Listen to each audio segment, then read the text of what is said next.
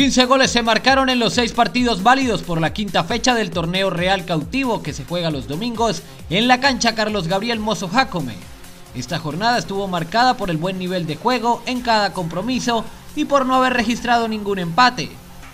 La goleada de la fecha la propició Sebastopol al vencer 4 por 0 en Pastes en un partido dominado por los de indumentaria de color amarillo con azul, quienes aprovecharon las oportunidades y marcaron dos goles en el primer tiempo y dos goles en la segunda parte. Así necesitábamos el resultado para ubicarnos bien en la tabla, ya estar un poco más seguros.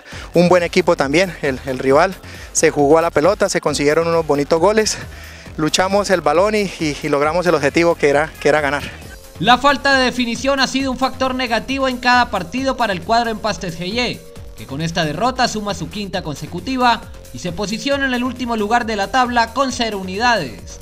Un balance, pues, dígame, negativo, 4-0.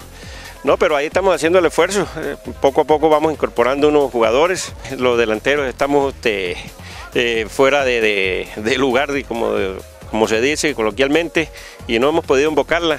Culminada la fecha, estos fueron los resultados de los partidos. Profesionales TV San Jorge ganó 3 por 0 a Deportivos Toti. Sebastopol venció 4 por 0 a Empastes GY. 2 por 1 le ganó Estanco Donde Piño a Servitodo Caña. Aguas Claras Avemar le ganó 2 por 1 a Saen Fútbol Club. Cabrero Arenga Fútbol Club venció por la mínima diferencia a los Rangers.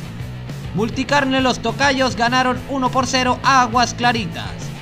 Descansó Ocaña 2000. La tabla de posiciones quedó de la siguiente manera.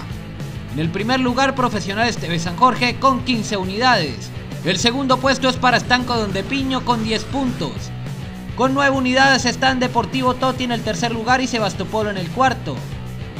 El quinto y sexto lugar son para Cabrero Arengas y Aguas Claras Avemar con 7 unidades. En la séptima posición está Multicarne Los Tocayos con 6 unidades. Con 6 puntos también los Rangers en el puesto número 8. Noveno es Servitodo Caña con 5 puntos. El décimo lugar es para Ocaña 2000 con 4 puntos. Los mismos puntos para Sain Fútbol Club que están en el puesto número 11. En la posición número 12 está Aguas Claritas con 3 unidades.